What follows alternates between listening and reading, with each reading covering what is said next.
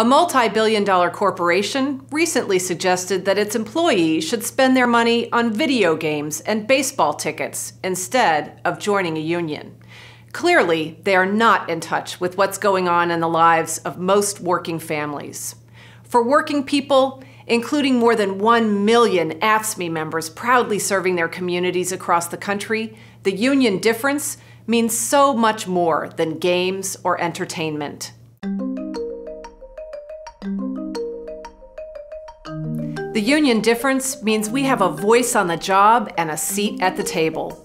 When we build power, negotiate together, and take collective action, unions improve public services and negotiate for livable wages, good benefits, fair treatment at work, and pay equity.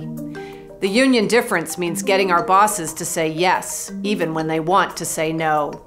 It means having the power to get things done. The union difference is the difference between risk of injury and workplace safety. It's the difference between being understaffed and providing care and service we can be proud of.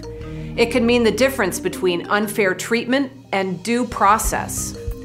Being a union member means the difference between living in poverty and earning a living wage.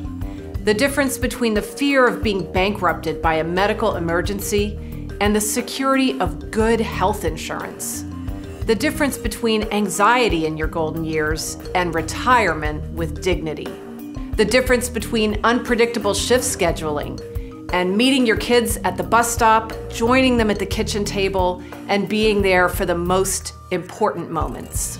It all adds up to a lot more than what you can get from a video game. Unions mean power, dignity, respect, fairness.